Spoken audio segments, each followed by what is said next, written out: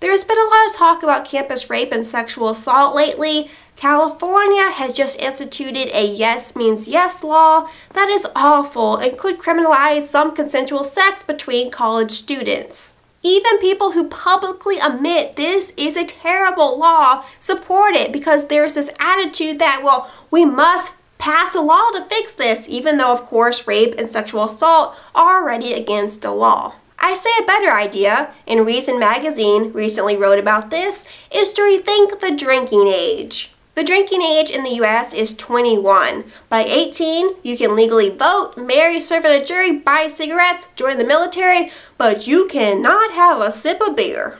If you think that's ridiculous, it's because it is. It wasn't always like this. At one time, after Prohibition, states set their own drinking ages. In the 70s and early 80s, in many states, the drinking age was 18. But then the federal government came and they were like, hmm, how can we force every state to set their drinking age to 21?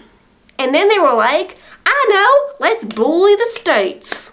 In 1984, Congress passed a law that told the states, raise your drinking age to 21 or we'll cut 10% of your federal highway funding. Basically, it was blackmail. By 1988, 21 was the legal age in every single state. 21 is the highest drinking age in the entire world, with a couple exceptions for a few Muslim countries that completely outlaw alcohol. In most countries, it's 18 years old or less. US is one of only three developed countries in the world that have drinking ages over 18. In Iceland and Japan, it's 20. Alright, so you may be saying, how in the world would lowering the drinking age combat sexual assault? How would allowing college students to get drunk, how is that a solution? Um, maybe some parents might not want to hear this, so I earmuffs, but college students are already getting drunk. I've seen it with my own eyes. The drinking age has approximately stopped zero people from getting yammered.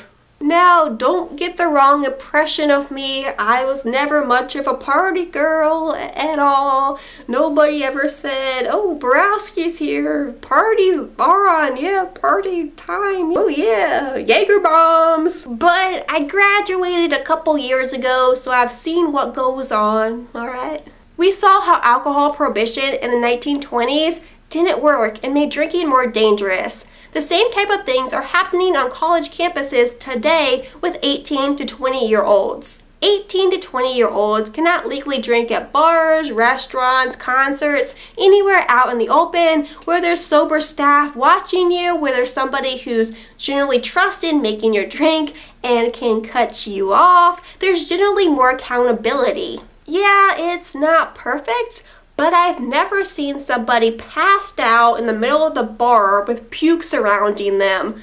Just saying. Alcohol prohibition just drives underage drinking underground behind closed doors where it's more dangerous and binge drinking is more common. I've seen how it promotes a let's get so wasted that we can't remember our own names attitude. Here's your typical college house party. There's a big tub, usually it has red stuff in it. People come by and they dip their cup into it and they drink it. It's called jungle juice.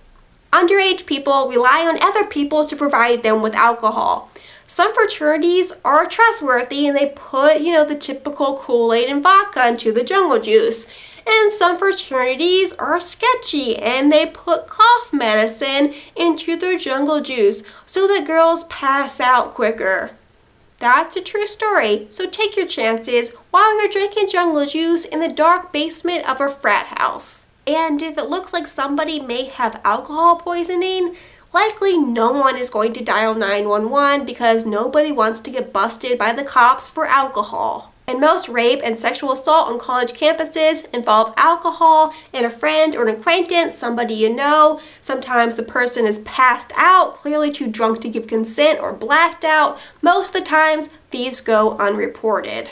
You may say, well, they just need to increase enforcement of underage drinking. But personally, at my own college, what I saw when they increased enforcement is it didn't actually reduce underage drinking.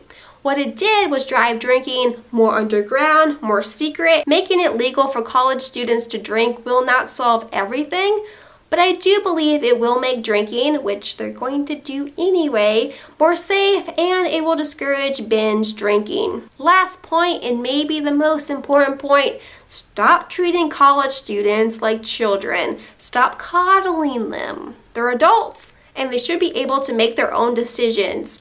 We don't need more laws policing our behavior.